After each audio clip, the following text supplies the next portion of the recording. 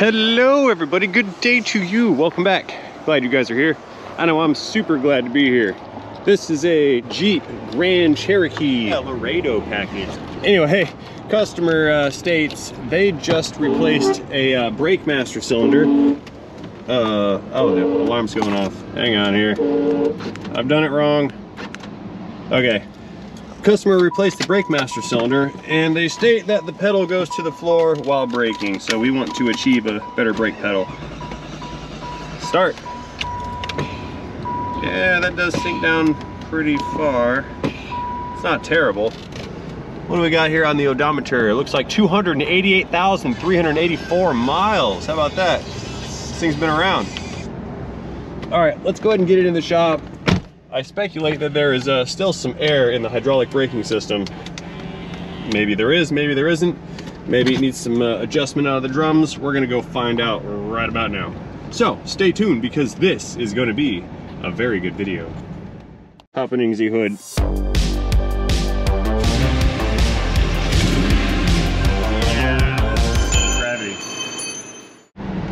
Let's go ahead and swing this in up front right here.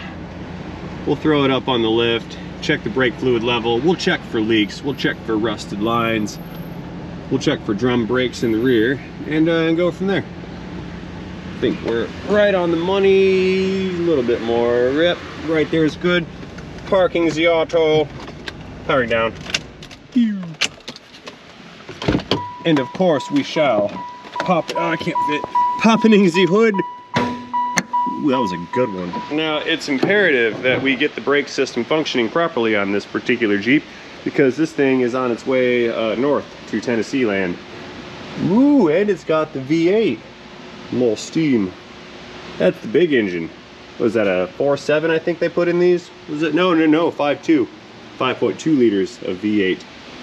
Not a Hemi. Okay, here's our brake master cylinder. We've got fluid. Not looking that great though. A little bit of light on the subject. Yeah, that's that's kind of some nasty looking fluid. They said they replaced the master on this once upon a time. It might have been a while. There's some rust and corrosion on it already. Okay. Well, let's cap this back off. We'll set the rack real quick like, lift it up in the air, and uh, we will check the underneath carriage. Again, looking for leaks, which I don't think I'm gonna find any. Perhaps it's got drum brakes and they're out of adjustment. Let's go look, check that right now. And survey says that's a negative. Those are discs. Okay, here, let's get our lift arm set up right here under the unibody subframe. Hmm, what's that? That's corrosion reclamation. Okay, let's get out of here. Lift arm number two. Kick that guy in. And again, right here under our unibody frame. That's good another good right here. Yep and number four. Pick that guy in. Is it gonna reach? Sure is. More. There we go. A little bit more. Hang on here. That's all we got i think. Right there. Again under our uh, under our unibody. Okay rack is set. Moving on up. And we will do that with our black subscribe button it's a thing we do here. Friendly reminder, shameless self-promotion. Let's recheck our lift points, looking good on this side. Checking the other side, just to make sure we don't die today, that's good. And the front one there, that one's good. All right, continuing to move on up. Oh look, the vent hood is down. And now that back wall has to come down. And then the front wall has to come down. Lots of construction. Anyway, that is not the task at hand. What we're trying to do is achieve a, uh, a positive feeling brake pedal and a responsive brake pedal with that. All the way up. It's good. On the locks. Now we're safe. Rolly chair time. Here we go. Whee! I can't help myself. All right, what's going on down here? I see no fluid. Brake lines look okay. Hmm, got an axle seal leak. See that right there? But again, brake lines look okay. That does not look okay. I don't even know if I'm gonna be able to get these bleeders open. Okay. Na na na na na na, moving on up. So we've got, this isn't right. This should not be pointed down like that. I don't think that's right. I think these are upside down. The calipers look like those are okay, but these lines, that's not, uh, not the greatest. Same thing with that one. That bend should not be there. So these things are upside down. Hmm, might need to fix that. Okay, pinion seal leak in the front diff. Not a huge deal. Okay. Let's see what else is going on here. All right, so what we need to do, I need to fix these lines. I basically need to unbolt them, uh, flip this manifold thing over, and then bolt them back on. So that's not a huge issue. But I, I do not believe that those go on with this thing pointed down. That's, that's not gonna work. Okay, so we need to fix that and probably uh, do a fluid exchange with the pressure bleeder just to uh, pass all that old fluid through and uh, make sure there's no air in the system. I imagine that, that uh, there's air on the rear side of this system because I don't think these have uh, been opened up and bled for quite some time. Actually, let's uh, let's put a 10 millimeter 3 8 That's gonna be 3 8 Let's put a wrench on these and see if I can't crack them open to get some fluid flow. If I can't get fluid flow, I'm probably gonna have to put calipers on it just to uh, just to be able to bleed the air out of the system. Okay, let's start with that. And we need a 3 8 wrench. 3 8 3 8 3 8 That one?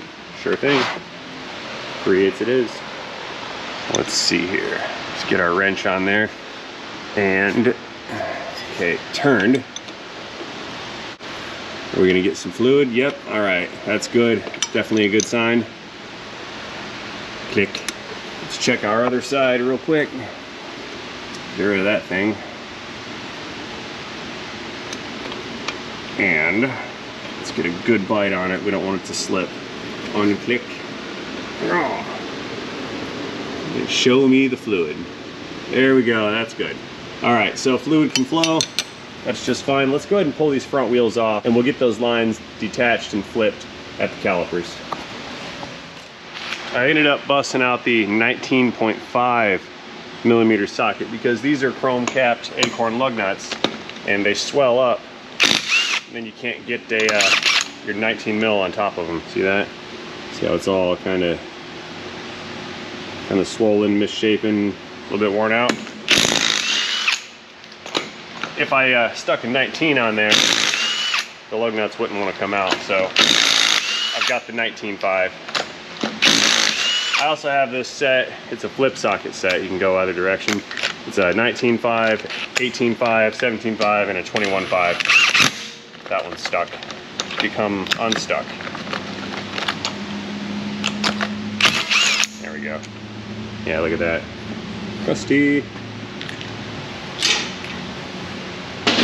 All right, wheel, you're coming with me. Whoa, it's heavy. Heavier than I thought. So what we'll do, let's go ahead and turn this. Yeah, look at that, that's, that's not okay. It's not gonna work. So what I'll do here is unbolt the, uh, the banjo bolt right there and just flip this line upside down. Get some light on the subject. Okay, let's do this with some haste. So spilling a bunch of fluid. Unclick. And yep, it's making a mess. No worries. It's all gonna get flushed and bled anyway. Let's flip that over. Hang on. That's how it goes. Just like that.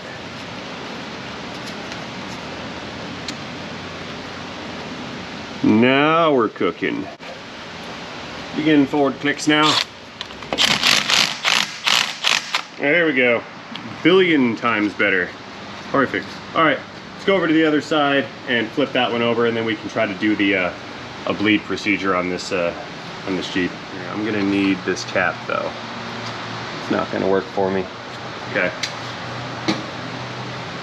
Actually, you know what, while we're here, let's make sure this one's gonna come loose. Come on, get on there.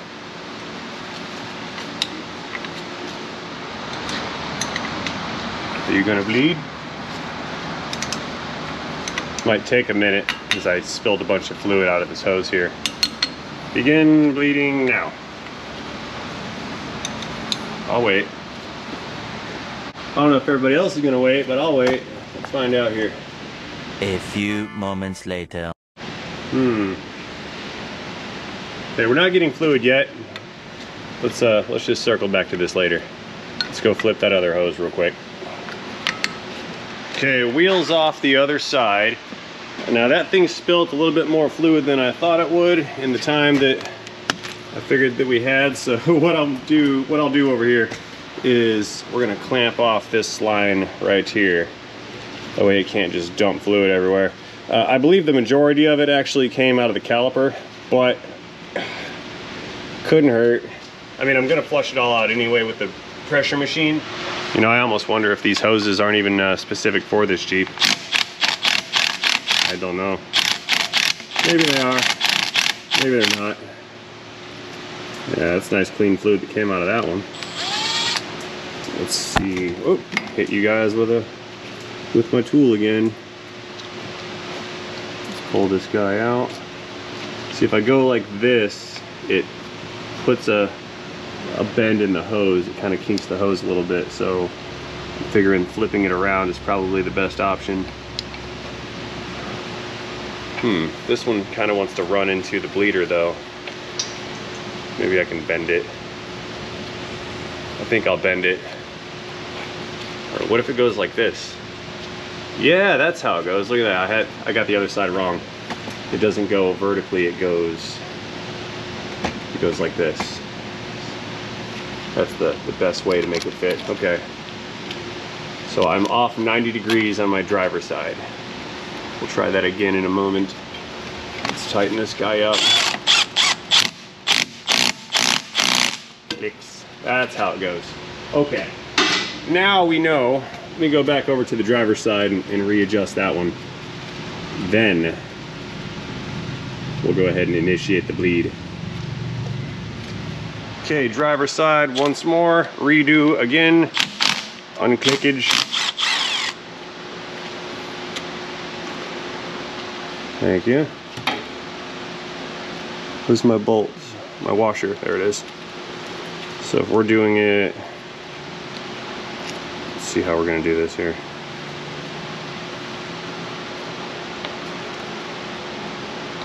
Mm, I don't know if this one's gonna fit that way. Hmm. Is that thing bent? I mean, it fits like that, but the other side has this thing going, like sticking out like this in this direction. Uh, judgment call, judgment call. I think I want to do it. I don't know how I want to do this. Meanwhile, I'm dumping uh, oil everywhere. I think I want it, see it's kind of twisted. It doesn't, like the way I had it is the best way that it seemed to want to fit, but then it interferes with the bolt here. So I don't know. I think what I'm gonna do is put it how I think it goes, and then I'm just gonna bend this slightly for relief. I think that's how we're gonna do this. Let's try this. Yeah, that's, that's a little better.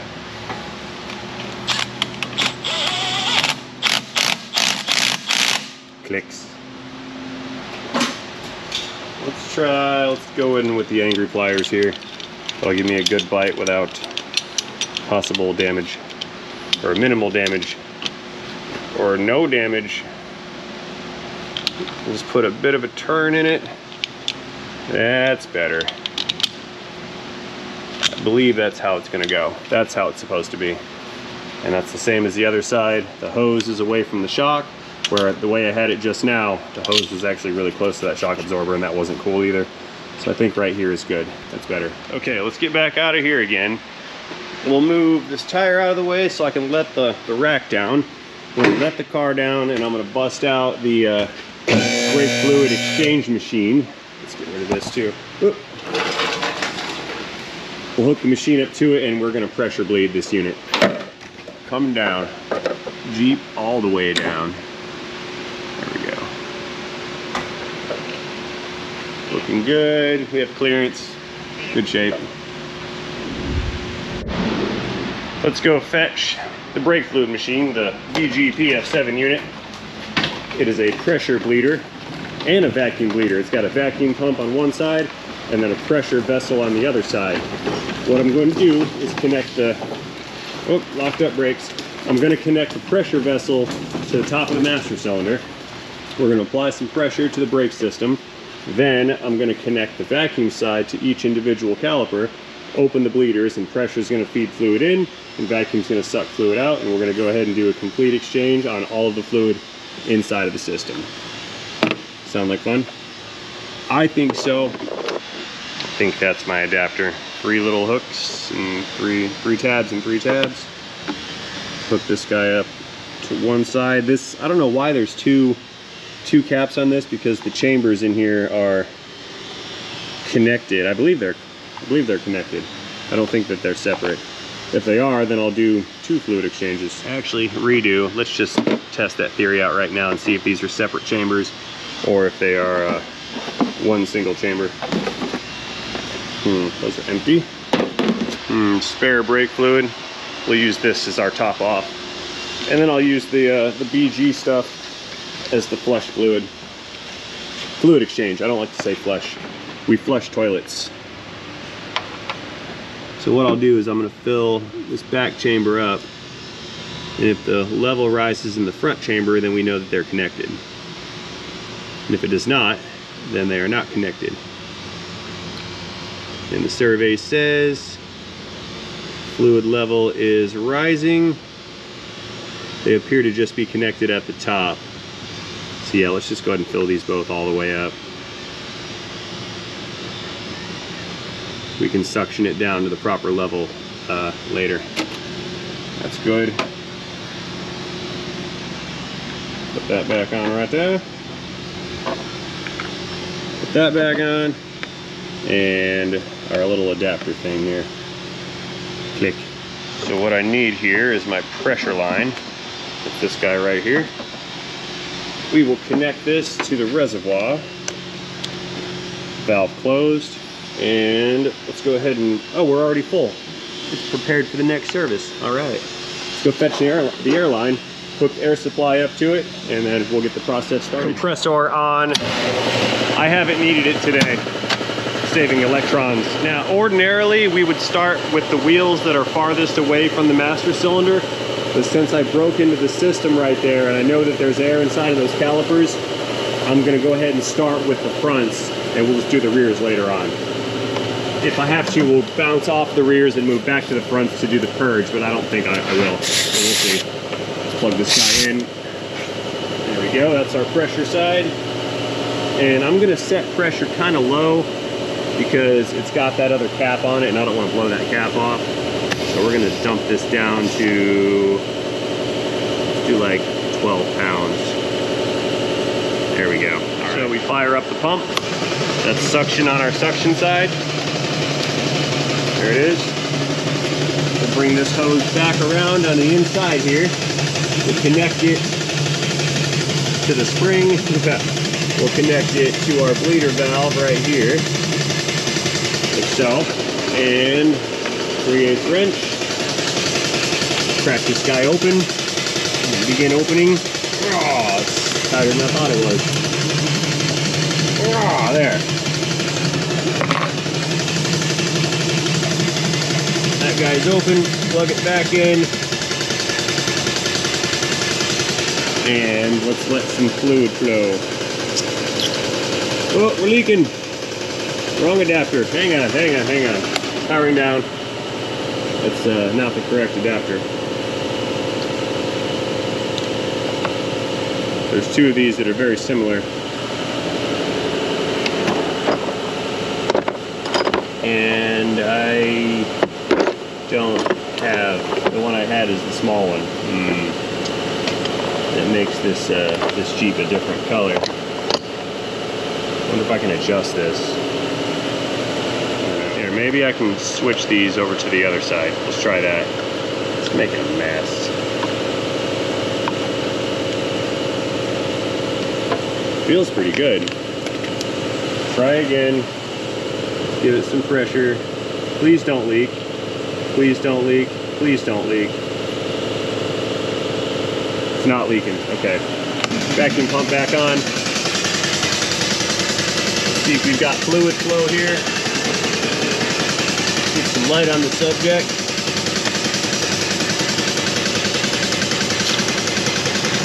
Yes, we do. Fluid is flowing. Very good. All right, let's just let this thing shoot for a little while. We're gonna run about a half a quart through this one. We'll do a half a quart through the other one, and then likewise with the two, uh, the two rears. And we are leaking again. Turn the pressure down.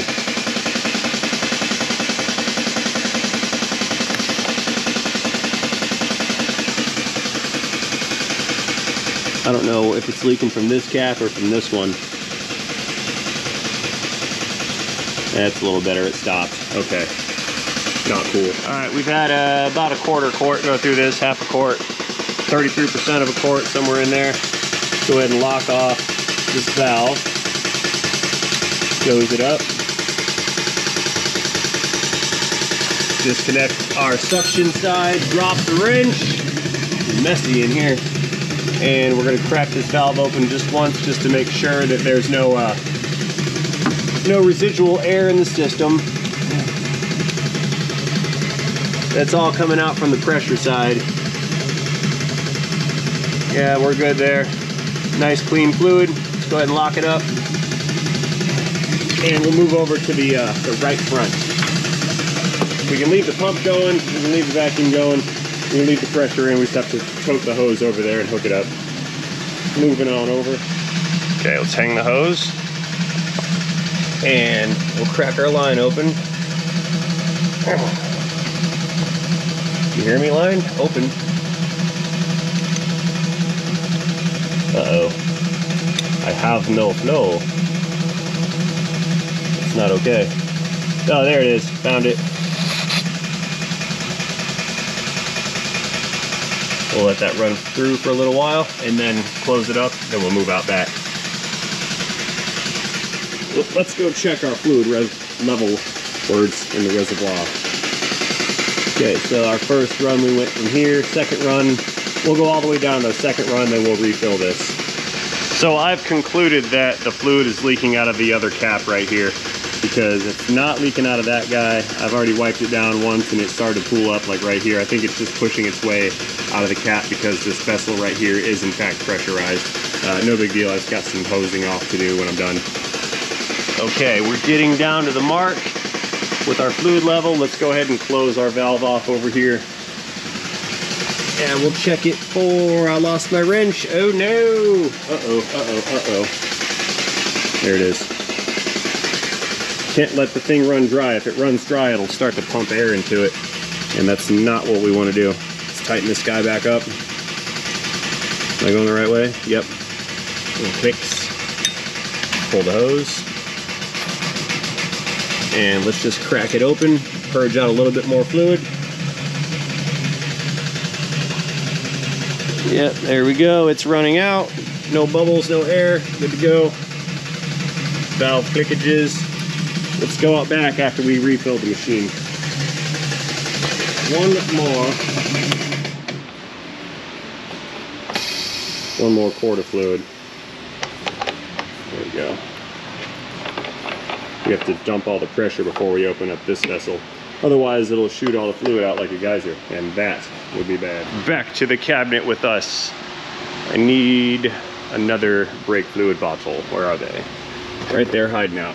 Got it ultra dry. It's formulated. It's an ultra dry liquid. Who'd have thought?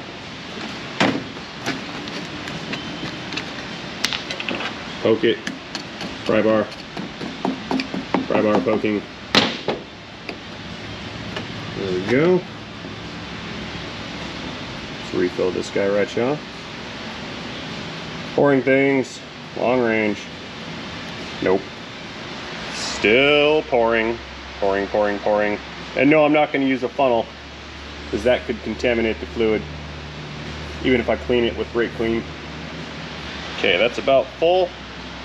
There's like a half ounce left in there. I'll save that in case I need to top off the master cylinder. Ooh. Put our cap back on. Air pressure powering back up. Right about there, that's good. Okay, let's go out back and bleed the rears. Come on, vacuum line. Coming with me. Let's see here. We're just gonna lay down and crawl under. Here, we'll hang the we'll hang the hose over here on the spring. It's always a good spot. Break this guy open again. Here we go. We've got flow. That vacuum on there. Whoop. Lost it. Perfect. Since that was barely open, we can crack it open a little bit more with the open end right here. There we go. All right. Let's go back, watch the reservoir, let the fluid level come down some, and then we'll switch over to the left rear. How we looking? Right about here. How's our leaking? Minimal leaking. Okay. So the compressor came on because we're using air pressure for the vacuum.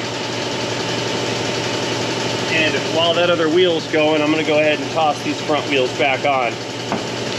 Just to be efficient. We'll get these guys bolted on and then as soon as we're done, we can pull this thing out, go for a test drive. This one should get you guys going. Got a torque stick, an electric gun with an extension, and a flip socket. What do you guys think about that? Yeah. Ree, you can't do that. It's not gonna torque properly. Eh, maybe. Maybe it will, maybe it won't.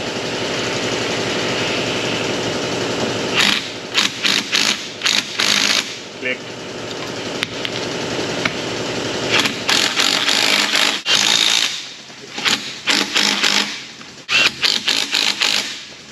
All right, one wheel, good to go. Okay, wheel number two is on. We're just about at the halfway point. Let's go out back, close that right rear valve, switch it over to the left rear, and then uh, we'll see how our brake pedal feels. Rolling around in the dirt. Let's tighten this guy up. Pull the hose off. Disconnected. Purge. Nice, that's good clean fluid. Finalize, click, right there. And off to the left rear we go. Swing this guy on over. Oh, by the way, this is not brake fluid water. This is uh, leftover from an explosion, a coolant system explosion on a Volkswagen. It was quite violent. We'll hang that guy. Plug our hose in. Get on there, please. All the way. Yeah. And let it ride. Fluid's flowing. See that? Very good. And again, I'll just monitor that uh, that tank right there until it's about empty. Once it's done, it's done, and then we can go hose this thing off and the floor because that spillage is from me. That's from this master cylinder overflowing. Yeah, we're still going. A little less than halfway. Oh, how's the old fluid looking? That's nasty. Alrighty, uh, our reservoir is nearly empty. Let's go ahead and close this guy off. Disconnect that. Let it suck out all the fluid. Check it for some air. Negative, no air. I know what you're thinking, how can there be air when you're running fluid through it? Because there could still be air in the system and I just want to make sure. I feel better doing it that way, so that's why I do that. Let's get out of here and shut our machine down. Now this next uh, next step here is kind of critical. We drop the flashlight every time. Gravity, flashlight gravity. Anyway, the, next step is very critical. Uh, what we need to do before disconnecting this line right here is to purge the air pressure. Stay.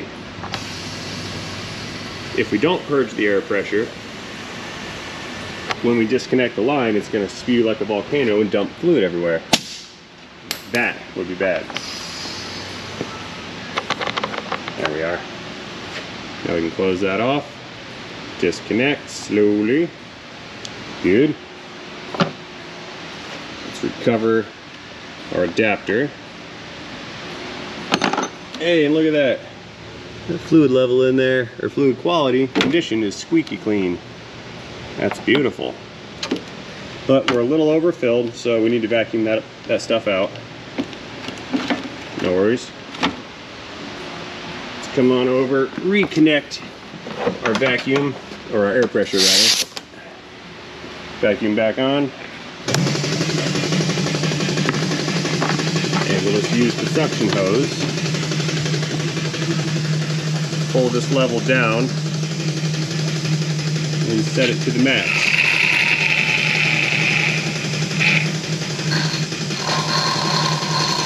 We don't want to leave it overfilled because then next time somebody does a brake job and they compress the, the pistons and the calipers, it'll displace all the fluid and then overflow this master cylinder again. And uh, we don't want to do that. If You go right there. Powering down. Let's put our caps back on. Very good. Let's go let this thing down, clear the rack. We're gonna back it out, hose it off, and then we'll go out, test drive it, hit the road. Release, Jeep coming down. All the way down.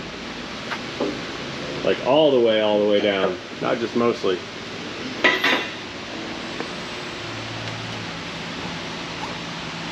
Come on. Come on, hurry up. Maybe if I stand on it, we'll go faster. Probably not. Give me that. Clear.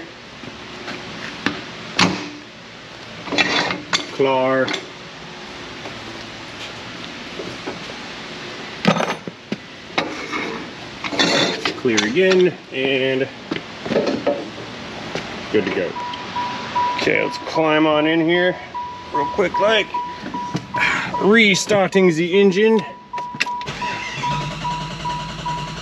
Start. Ha ha ha, it's alive. Good. Let's back her on out. Reverse. Kind of got a brake pedal.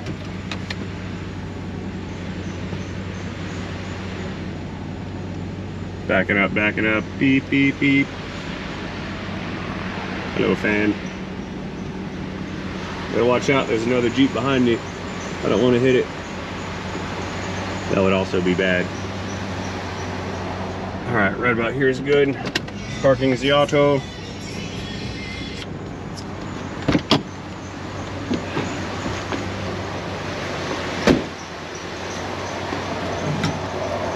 And shiny. Let's get rid of all that old fluid. We don't want that in here. Wash me down. And I'll get all the fluid on the calipers. We're just gonna give it the, the hosing reach around treatment here. Bottom of the car, bottom of the chassis, anything that could have gotten fluid on it, we're gonna spray that off. Caliper on this side, let's spray that off. See, we got it. I can't see, but you can. And same thing back here on the rears. Not gonna reach. Hang on. I know what to do. We'll put it on a jet. We'll go long range. Yeah. Long range shiny.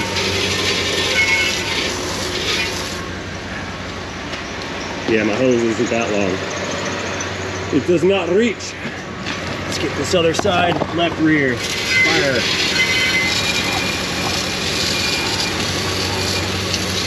That's good. All right, let's hit the road, see how this pedal feels. See you later, 5.2 liter. Now, because I potentially could contaminate the carpet with my watery shoes and or dirt, we'll throw this uh, floor mat in here. I probably should have done that to begin with, but I didn't realize I was gonna be swimming in brake fluid and, uh, and water and whatnot. So I changed my mind last minute. I can do that. All right, looking good. Pedal feels pretty good. But we won't know until we, uh, we're out on the road here. Can I go? Yep, sure can. Ring. Okay. Straight line. Let's apply some pedal. Okay, feels good. It didn't pull off the road or anything crazy like that. I definitely think it could use some front end parts. It's it's real loose in the steering. And that axle seal. There's a couple things to let them know about, but what we wanted to do was uh, make sure the brakes were good. We had a sinking pedal. It was uh, all the way at the floor while driving, and now it is not. It feels pretty good. It's stable. I can't press it down all the way, and that's also good. So I'm gonna go ahead and call this one a success with a hidden bonus. And that bonus was those uh, incorrectly installed brake lines. So glad we got that thing squared away. So uh, I guess at this point, there's really nothing more for me to do except to thank you guys for watching this video. As always, I hope you enjoyed this video. If you did enjoy this video, please feel free to let me know about that by tapping that like button down below. If you did not enjoy this video, then uh, let me know what you did not enjoy about it in the comment section down below, and then I can use your feedback to uh, create better videos moving forward into the future. So again, as always, thank you guys for watching, and most importantly, do not forget to have yourselves a great day. See you guys later. End of Jeep. Parking the auto. Powering down. Pew. Goodbye, Grand Cherokee.